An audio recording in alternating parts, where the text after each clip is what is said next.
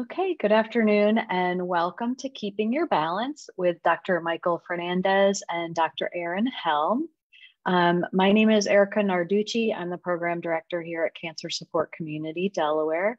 Um, and we are live streaming the program. So hello to anyone who might be on Facebook or watching this um, recorded session after we've held it live. Um, I do encourage you to ask questions during the presentation. You can unmute and ask, or you can put it in the chat and I will interrupt the presenters and ask the question. We'll also have time for um, questions at the end. If you're on Facebook, you can put it in the chat and um, I will do my best to monitor that and make sure we ask the question as well. So um, Erin has worked in um, oncology physical therapy for a number of years. She even worked at specialty rehab in the Helen Graham Center. Uh, and Michael has worked um, just the, these past five years, mostly with senior population and with balance, and has recently gotten a certification with oncology rehabilitation. Um, and both of them are doctors of physical therapy. So we welcome you, Michael and Erin, and I turn it over to you. Thank you so much. So today we're going to be talking about keeping your balance and we'll see if I can get this to go the next one. There we go. So the objectives today, so why we'd love to have you all chime in is to really talk about the association between falls risks and cancer. So why do you feel unsteady when you're going through treatment? Why do you feel unsteady after a diagnosis? And then talk about the risks and how you can spot those risks in yourself and your loved ones, in your environment, and minimize the risk of falls and improve your balance and then what you can do. So, what can you do before treatment, during treatment, and after treatment to really help to improve balance? So, we'll talk about all those things as we go through. And like Erica said, please stop me if you have any questions or something isn't clear or you want more information, please let me know. So we'll go into a little bit of the background. So why do you feel unsteady? So the CDC says that one in four Americans age 65 plus falls each year, and only 50% actually report that fall. So, you know, the, oh, it wasn't really a fall. I just hit the ground with my bottom, right? Like, or I just caught the side of the counter as I misstepped. Like those things actually count as falls, um, but not everyone actually says that they fall it. And one in five of those falls results in a serious injury. And that's for someone that does not have a cancer diagnosis. Having a cancer diagnosis in and of itself amplifies that risk of falling. And the prevalence ranges from 33 to 50% or greater. So if you have fallen as you're going through treatment, you're not alone by any means the important part here is one in 20 of those falls can result in an interruption or cessation of treatment. So if you're feeling off balance and you fall, there's a risk that the severity of that fall could be greater and it can stop you from going through your treatment. So we really want to intervene early so that we can help you to get everything you need as you go through your cancer journey. So when they talk about risk factors for falling, there's a whole gamut of things that in the research they show can can increase risk. So patient risk factors, so your intrinsic risk factors about you would be history of falling. So if you fall once, there's a double the risk of falling again. Balance deficits, obviously. So if someone is off balance, you're more at risk of falling. Medications we'll talk about. So four or more medications um, having difficulties with walking, having muscle weakness, pain, orthostatic hypotension, so that when you get up and you feel off balance, you feel lightheaded, where your blood pressure doesn't want to just quickly respond, that can increase the risk of falling. They talk about impaired ADL, and what ADL means is activities of daily living. So you're having difficulty getting dressed, you feel off balance with that. You're having difficulty doing things in the house, prepping your food, things like that that shows that there might be more risk of falling. And then obviously females, we always get the brunt of everything, right? so, so if you're female, you have a higher risk of falling um, greater than 80 years old, arthritis, difficulties with memory, with um, recall, doing multiple tasks at once can indicate a higher risk, visual impairments, obviously, and then incontinence. One thing we don't necessarily think about but with incontinence, if you're rushing to get to the bathroom and you're getting up in the middle of the night to get there, you might be more risk of falling. environmental risk factors would include things that we can't control but might be going on in our environment. So when you think of like the helen graham cancer center we used to talk to everyone at that center about how can we decrease risk of falls for people coming in the door. So wet floors was a big one. So did they have umbrella bags for someone? So so looking around at your environment to make sure you're not going to slip and fall if you're getting wheeled to an appointment and you're sitting in a wheelchair. So sometimes they'll do that for radiation because they're worried about people getting up and falling. But if your wheelchair is unlocked, so if someone wheels you to an appointment or you wheel a, um, a patient to an appointment, you want to put those locks on because if you are sitting there and you're having a conversation and you go to get up to go talk with your physician, if those wheels are locked, it's going to roll out from behind you. Same thing for footrests. If the footrests are out, when you go to sit when you're sitting and then you go to get up and you trip over those footrests same thing. Rugs so physical therapists always cringe at throw rugs because if you aren't lifting your feet up or if you're using a walker and you're pushing it and you're relying on it heavily it's going to catch on that rug. So that's one. Rushing when you're walking and then caregiver hand placement. So we all know that love the one that wants to grab onto your arm to keep you safe and steady you need to tell them that sometimes that's not always the most helpful because you don't have your arms to swing to keep your balance. So it throws off your momentum and it throws off your ability to kind of put your hands out and keep your balance yourself. So if you need a little extra support and they want to be helpful, hold on to them. Don't have them hold on to you. And that can be more helpful. So that's just for some an individual that doesn't have a cancer diagnosis. But then when you look at having a cancer diagnosis on top of the general risk factors, all of these risk factors, so balance, medications, our ability for walking, strength, this takes a while. Orthostatic hypotension, cognitive impairments, visual impairments, and incontinence, all of those are amplified when you go through treatment. So, thinking about balance, if you're on chemotherapy, we'll talk about that. Medications. So, who's not on multiple medications when they're going through treatment? You know, just the chemotherapy and the steroid alone, there's two. Muscle weakness from sitting, muscle weakness from the steroids you're on. All of those tie in together and they can amplify that risk of feeling off balance or unsteady. So, we're going to talk about some of the specific risk factors and then what we can do and how we can spot those risk factors in ourselves and then what we can do about it. So, chemotherapy is a big one. So, falls are two to three times more common in an individual receiving chemotherapy. And that's increased with your cumulative dose. So, you're talking about those cycles of chemotherapy. So, it might not happen the second cycle, it might not happen the third cycle, but you get to your 12th cycle of chemotherapy and you might be like, wow, I really feel unsteady. I didn't feel this the first couple cycles. What happened? And then more than one neurotoxic drug in your chemo cocktail. So you know how you might have ACT, so adriamycin, cytoxan, and Taxol is a common one. Some of those drugs are more neurotoxic or more damaging to nerves than others. And that's when we get into talking about chemotherapy induced peripheral neuropathy. So that numbness and tingling that you can have the impact of that can extend up to five years and past five years post treatment. So it's not something that's just going to go away quickly. So when you're finished your your therapy or your treatments and you still feel off balance or you still have numbness and tingling, that's not abnormal. So just know that's not abnormal, but there also are things we can do about it to help improve it. So when we talk about CIPN or that chemotherapy induced peripheral neuropathy, there's multiple facets to it. So there's a sensory component, so that meaning where your sensation feels off. So it might feel completely numb, it might feel achy, or it might feel pins and needles, or it might feel like electric shocks when you pull your blankets up over your feet at night. And it's typically, they call it stocking and glove distribution, meaning it starts in your fingertips, it starts in your toes, and it spreads up the hand like a glove, or it spreads up the foot like a sock.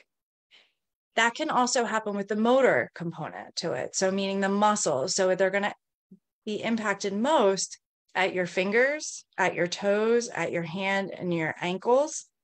So, if you're thinking about holding an assistive device, holding a cane, something like that, one, it might be uncomfortable because of the sensory piece of that, the sensation, but it also, you might not have that grip strength. So you might find jars, opening jars might be difficult. Grabbing on and pulling yourself up on a handrail might be difficult because of that. But the other piece of that is when you're walking, you might not be able to lift and clear your feet as well because those muscles in your feet and across your ankles aren't going to be kicking in quite as well if you do have this neuropathy. So people might say that they're okay when they first get up in the morning and they're walking, but by the end of the day, they feel like they're dragging their feet. Or they go out on a walk and they're on an unsteady surface like on grass or on gravel and they tire out really quickly and their feet ache. That's part of that motor component because the muscles can't stabilize you as well. There can be an autonomic component to CIPN, so meaning how your blood pressure and your vital signs respond to activity. So that orthostatic hypotension. So thinking about someone that might be on a, a vinca alkaloid, so a vincristine is known to cause constipation, but it also causes blood pressure drops sometimes. So you go to stand up and your blood pressure doesn't kick in right away to pump that blood back up, and you start to feel dizzy or lightheaded. So, with that, you really want to take your time, pump your ankles before you stand up. Stand up, don't step away from your chair, and make sure you stay in that position before you then go for your walk because your blood pressure just needs a little bit of extra time. And then there's a vestibular component. So, thinking about your inner ear and how it maintains your balance or your equilibrium, that can often be off with CIPN. So, there's lots of facets and lots of components to CIPN that can really play a part in impacting your balance. And I took this from the CDC's website, but this is just a list of different medications. And now, when you're going through treatment, you don't always get to say, hey, these are the treatments I medications I want to be on, and these I don't want to be on because they cause sedation or they cause dizziness. But when you're done treatment, it's really important. Talk to your navigator about the medications you're on. And if you're having side effects during treatment don't be afraid to speak up and say hey i'm taking this or i'm taking this and i really feel off balance or i really feel dizzy or confused because that can lead to falls. And again like i said if you fall you're more likely not to be able to complete the treatment. So you really want to have open conversations with your physicians about that Muscle weakness, I mentioned a little bit about that before, the motor component of CIPN, but muscle weakness can come on even at the presentation at your diagnosis. You could already be starting to feel weak and not know why, because the cancer cells can have an impact on your muscle strength. So there's that component. And then there's also when you get chemotherapy and you have steroids paired with that, or you go into radiation and you have steroids with that, those steroids preferentially impact your proximal muscles, meaning the muscles that would be at your t shirt and shorts. So, like if you were wearing shorts, it'd be right around your bottom, right around your hips. If you were wearing a t shirt, it'd be right at your shoulders and your core, your muscles in your abdomen. All of those muscles can get weaker more quickly than other muscles in your body. So, thinking about getting up and down from a low chair, going up and down the stairs, if you're feeling more weak with that, that can increase your risk of feeling unsteady because now you don't have that balance when you start to get up. So you really have to heave yourself out of a chair or you really have to pull yourself up and down the stairs. Cancer related fatigue. So you guys probably all know that term by now if you've uh, if you're in the middle of treatment where it really describes that overwhelming exhaustion you feel as you go through treatment and it's not related necessary to how much activity you've done that fatigue can play a role in your balance because when you're fatigued, you're not going to be doing as much. You might take shortcuts to doing the activity, or you might be less efficient with doing your walking or your movements around the house. And that can make you weak. And it can also make you more at risk of falling. Same thing goes for immobilization. So if you're not able to get up, so let's say you just had breast surgery and you, you can't move. So you had a, a DIEP flap where they do a cross section at your abdomen and they have a surgical cut there, you're not moving very quickly after that, your muscles can get weak and you can feel off and your blood pressure can be off. Same thing with disuse. So you don't feel like getting up because you've just been through the the range of chemotherapy, radiation, surgery that can also impact those muscles. we talked about CIPN that distal weakness. So the muscles across your ankle and your and in your foot, those muscles, if they're not working properly, they're not going to be able to help you to step quickly. They're not going to be able to help you to clear things or walk on uneven surfaces very well. That all ties into how we walk. So our gait. So they've shown in research that individuals that have gone through treatment, specifically that have CIPN, that report these symptoms of numbness and tingling, have increased postural sway. And what that means is when you're standing still, if you close your eyes, how much do you sway? How much are you able to maintain your balance? And individuals with neuropathy sway more because your ankles and the, and the joints are not giving the same feedback to your brain or not giving it as quickly to get you to kick in those muscles to stabilize yourself. You also can have reduced reactions. So you get bumped in the grocery store, your muscles, those proximal muscles at your bottom, at your hips, your core, they're the ones that get you to, to quick correct and stand up or quick take a step. They're not going to be as quick when you're on steroids and you have that proximal weakness. Altered sensation, obviously, if, if your sensation is off in your feet, you're going to have more difficulty but you also may have decreased foot or leg clearance because of weakness and then reduced endurance because of the treatments as well.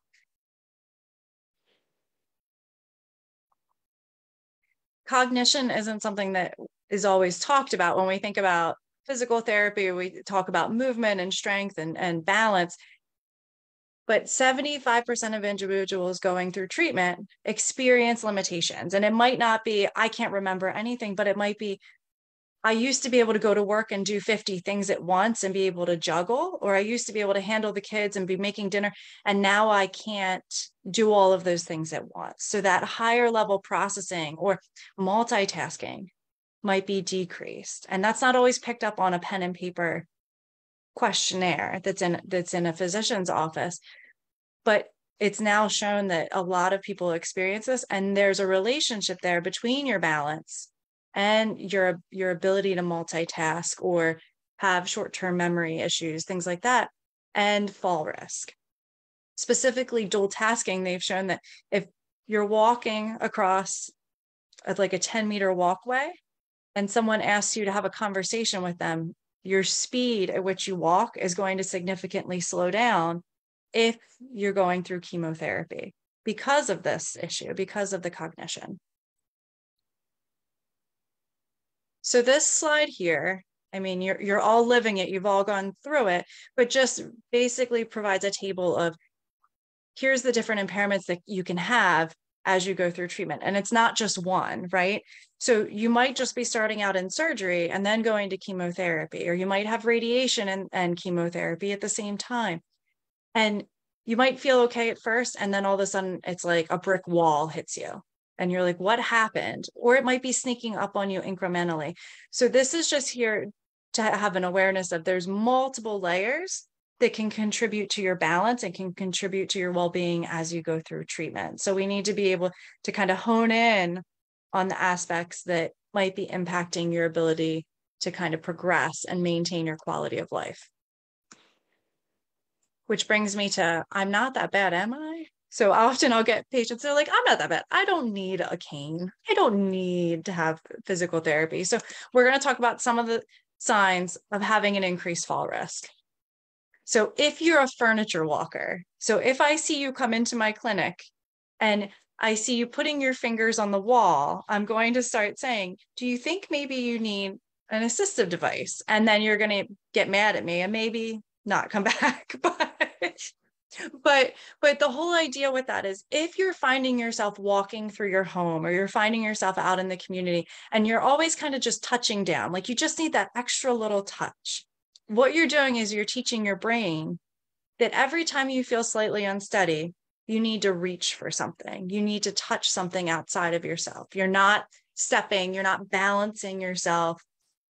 You need something extrinsic. So then when you're in the grocery store and someone bumps into you because they're on their cell phone and you reach for the can of beans to hold you up and it doesn't, then you end up falling because you didn't take a step. because your brain wasn't that wasn't its first response was to take a step or to catch yourself it was to grab the beans and the beans did not did not do the trick so so if you find yourself furniture walking that's when to say okay maybe i need to get a little extra assistance here and then you can talk to a professional about like what kind of assistance might i need it might be like two or three sessions in pt or just having a conversation about what exercises could i do at home to better my balance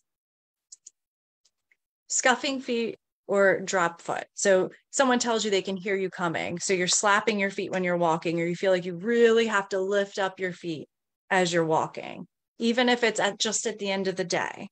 That might mean that you need a little bit of extra assistance. If you find that you're always staring down. So a lot of individuals that have CIPN and they have sensation issues, you can't rely on your feet to tell you where you're at. So you rely on your vision and you're looking down. So if you or a loved one is staring down at their feet while they're walking, we need to do something about that. We need to intervene because you can't walk around staring down at your feet all the time. You can try, but it may not work out. Postural changes. So, talking specifically about individuals that have abdominal surgery, you don't stand upright right away after surgery. And oftentimes they give you restrictions as to how early you can stand upright. But then you're stuck in a chair, you're stuck in the recliner, and then you're kind of in that bent over position and the muscles in your abdomen get weak. When you're coming forward, your base of support or your weight is shifted forward. So you're more likely to tip forward than if you trip. Decreased gait speed is something we talk about in PT because when you're walking slower because you're more fatigued or you're in pain or you're on a medication that makes you drowsy, you're less efficient with your movement and then you're more likely to to fall. So if you're finding like i just can't catch up i just can't well like i used to to walk circles around my wife or circles around my husband and now i can't do that that's something that we can tease out and we can talk about how can we improve your endurance? How can we make you more efficient? What muscles are weak that's contributing to that? And then multiple attempts to stand from a chair. So if you feel like like you have to like heave yourself up and it takes you a couple tries out of that low couch then that's something that we can work on because we're thinking about that steroid impacting your proximal muscles like your bottom they can't necessarily get you as strong as you need to be to get out of the chair and then obviously that history of falling and dizzy upon standing we talked about So there's a, a, sim- simple and quick fall risk screening that they often will give at physicians' offices. It's have you fallen in the past year? Do you feel unsteady when you're walking or standing? Or do you worry about falling? If you're reading this and you say yes to any of these, then it's worth having a conversation about what can you do to help um, to improve your risk of falling so that you have better balance, so that you feel more stable. The other questionnaire, which I like, is a fall risk self report questionnaire. If you type in stay independent CDC in Google, it'll pop up for you. Or if you have a loved one that you kind of want to run it through, they have a, gr- a lot of great resources on the CDC website. They even have like a checklist for safety for your home. Um, but if you have four points or more on this, that shows that you have an increased risk of falling. So it just goes through and it provides a rationale for why it matters because not everyone believes me when I say when I say you need an assistive device.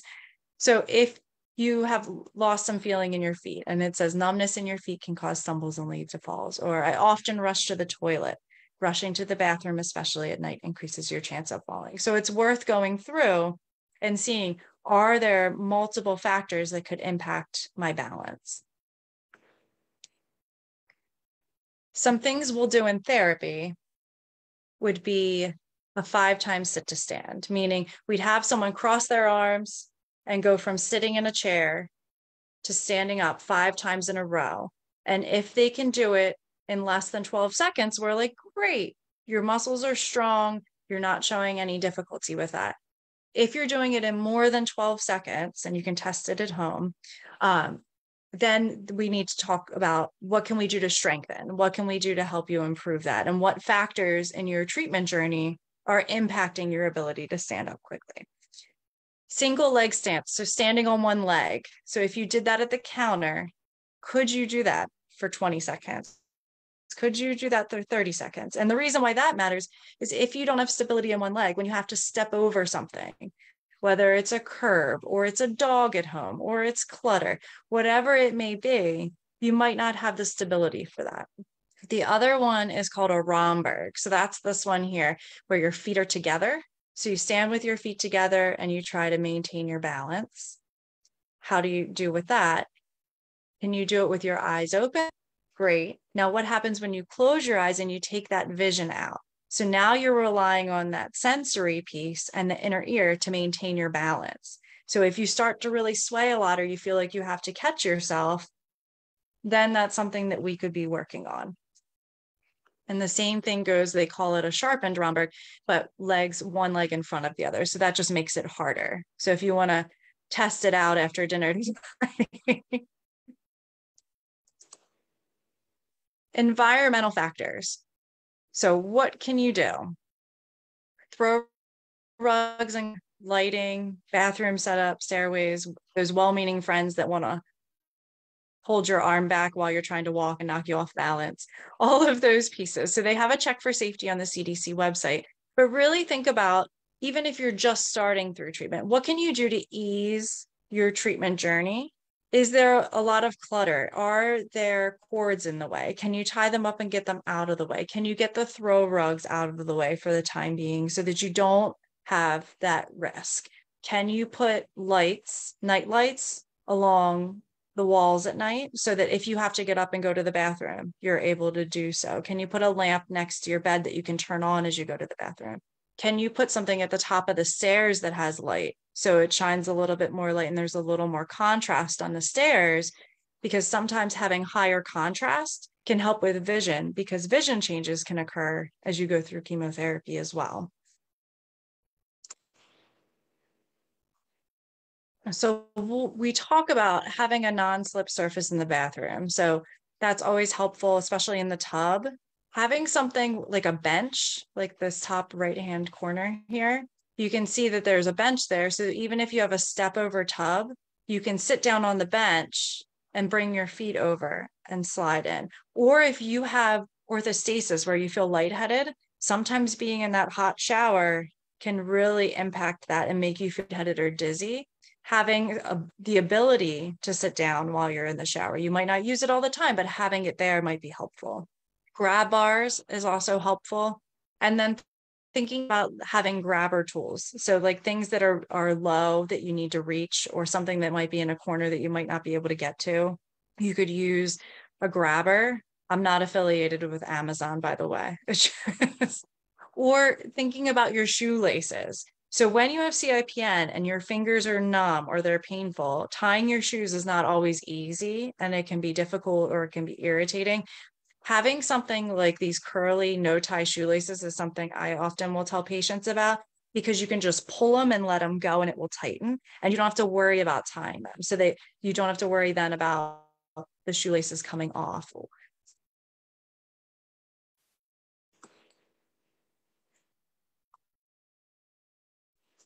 So, what can you do? So, there's intrinsic factors. So, we talked about the environmental, the grab bars, things like that. If you're fern walking, we want to talk to you and we want to see what you need to get you more steady. So that might mean a physical therapy evaluation. That might mean talking to your physician about getting an assisted device or just doing a community program where, where you can be in yoga or you can be in a balance class. Um, if you are having significant pain, that often will alter how you're moving. So you want to advocate for yourself through treatment. Even if you're completed treatment and you're having pain, it can alter how you move as well and increase your risk of falling. Orthostasis, again, that's something to talk to the nurse navigator about. If you're feeling lightheaded when you get up, it can be because you're dehydrated. It can be because of the chemotherapy treatment you've received. There could be multitudes of different factors that go into that. So you want to have that addressed as well. And then vision. So oftentimes, vision will change as you go through treatment. So having a conversation with the physician, because they'll oftentimes tell you, well, wait six months, wait a year until you're out of treatment before you go back to your eye doctor, because your vision's going to continually change as you finish out treatment. And so there might be things that you can do, like adding something along the stairs that adds a high contrast or different lighting in the home until then to help you. So, specific to what we can do in therapy, what exercise can do, I showed you that slide before of all the different impairments that come up, all the different issues that come up with surgery and chemotherapy and radiation. Here's a list of the side effects that can come with treatment, but then all the different types of activity that can improve those side effects. So I've mentioned a bunch of side effects that feed into your balance, but it's important to know that there's different things you can do for each of those side effects. So getting moving and getting in a program, whether it's through physical therapy or whether it's through cancer support community, can really be beneficial to really help to improve your balance. So there's evidence that physical activity and falls prevention in 65 plus without a diagnosis of cancer can be beneficial. So they show that just doing balance exercises and functional exercise can reduce that fall risk by roughly 25%. When you add resistance exercise into that, it goes up to 28%. And just with Tai Chi, there can be a reduction of 23%. 42% reduction is seen if you do three plus hours of functional and balance exercises. So, meaning you could do three one hour sessions a week, or you could break it out into smaller components. There's not specific guidelines in the oncology population for what exact exercises are the most beneficial. But what they do, the National Comprehensive Cancer Network put out guidance saying they want individuals that have a cancer diagnosis seeing someone to get early and preventative education on use of durable medical equipment. So, like something in the bathroom, the grab bars, things like that that can help, assistive devices, and then get a home safety evaluation. So, an occupational therapist is a great one for that, where they can really tease apart what is in your home that might be a risk of falling and what you can do to reduce that risk. What modifications can you make?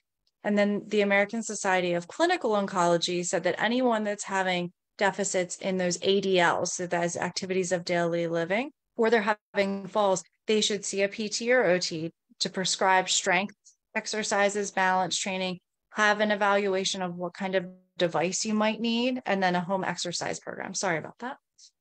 And then talk about fall prevention and home safety again. So if you do go into a physical therapy program, so you're like, I really have a lot of these things that we're talking about today. I want to talk to a physical therapist. If you're looking for someone specific to oncology, there's questions you want, you kind of want to vet your physical therapist no matter where you go. So you want to find out are they familiar with the past, current, and upcoming treatments you're having? So are they familiar with the chemotherapies you're on and what the side effects are? Are they familiar with the radiation and what that impact may be on your balance and your treatment journey.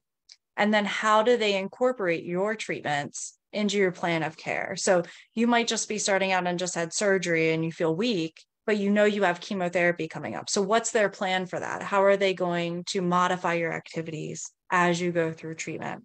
They should give you a home program. So what activities you can do at home. And then they should be able to recommend to you community programs to participate in following therapy or maybe even after they do an initial evaluation, they can say, Hey, I think you're actually doing really well. I just want you to try these activities out in your community. So there's a Livestrong program at the YMCA. Um, there's different exercise programs you can participate in. All of those things they should know about. And I'd probably belabored these points, but just having a diagnosis of cancer can increase your risk of falling. So you want to make sure you're advocating for yourself. Your treatments can amplify that fall risk. And really, you need a comprehensive assessment by someone to, to identify and fully address those aspects that can contribute to your fall. So it's not just one piece. You're you you're a puzzle when you when you come in and you've had radiation and you've had surgery and you've had chemotherapy. And we need to look at all of those side effects to treat all of you. It's not just one piece that we're treating, and that we need to re- really individualize that. So, do you guys have any questions?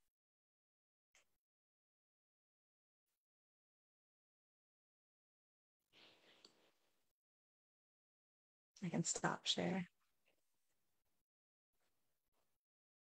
And feel free to put it in the chat. Oh, go ahead.